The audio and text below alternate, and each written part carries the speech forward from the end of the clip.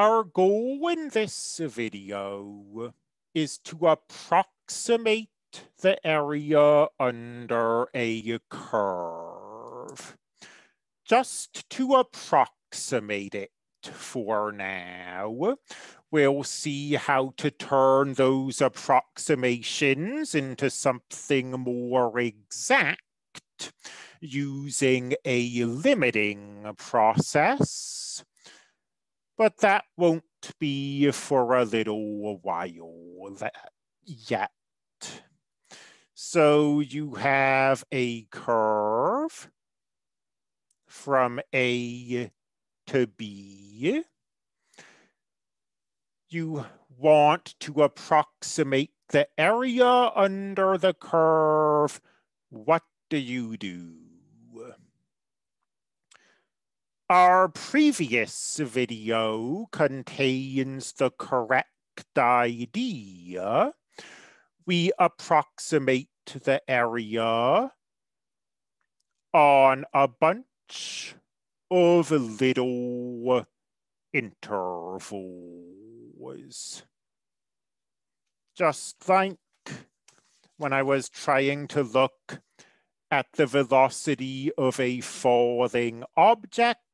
I just looked at the velocity over a small time period. Sorry, I looked at the distance traveled over a small time period. Here, we break this interval up into a bunch of smaller intervals.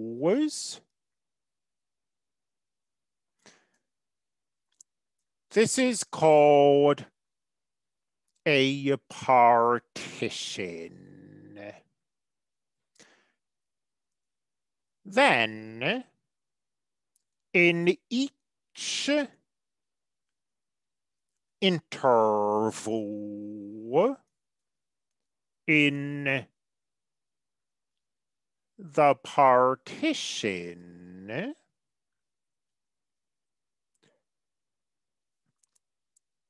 we select a point and create a rectangle.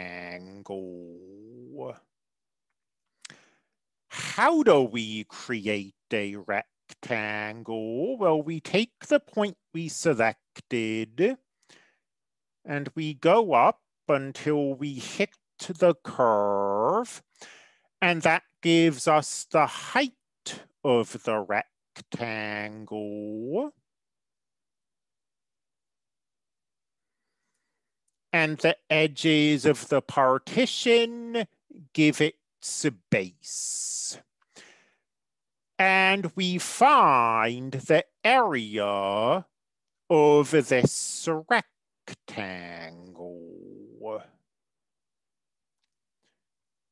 We can do that because an area of a rectangle is simply its base times its height.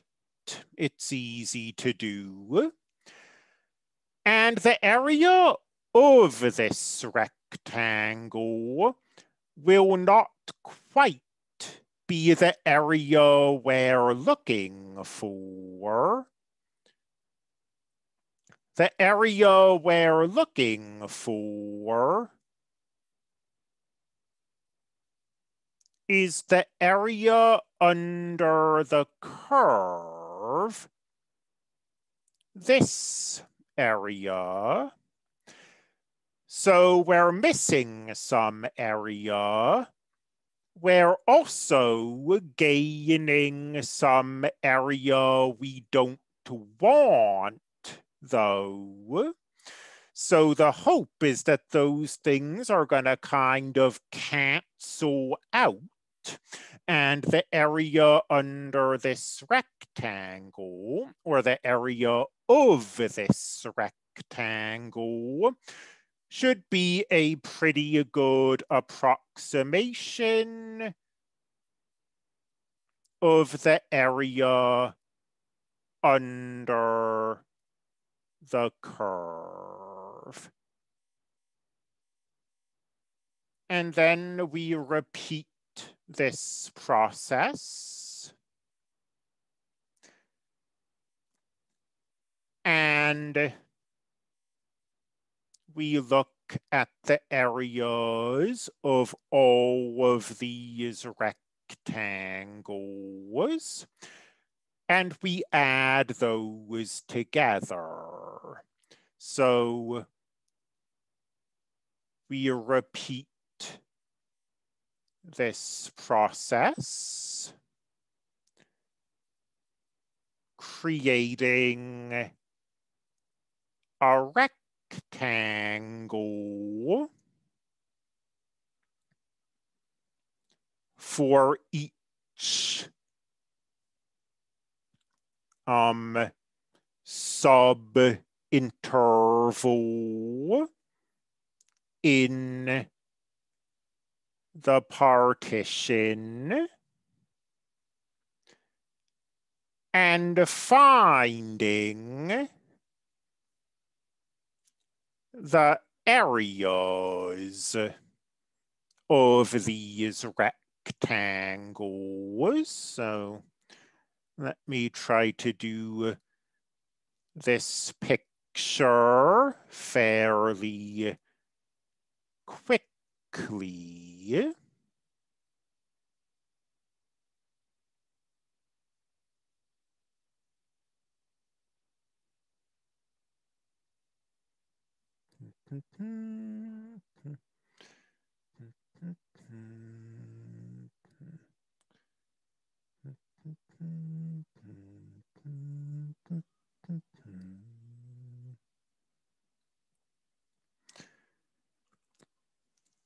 you can see that the total area of these rectangles should be a decent approximation of the area under the curve.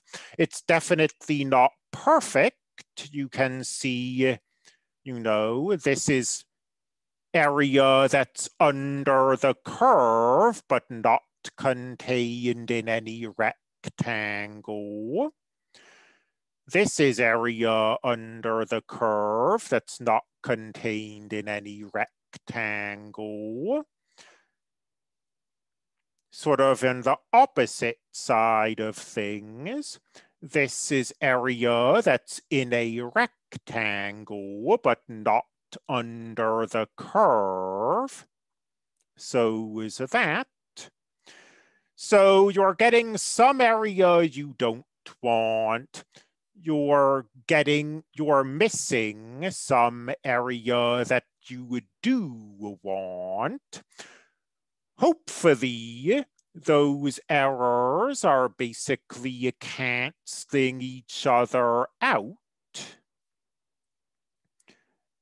And we can approximate the area under the curve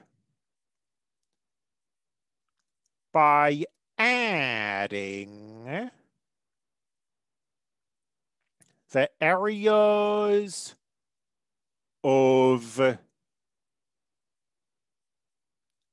the rectangles. This sum has a name.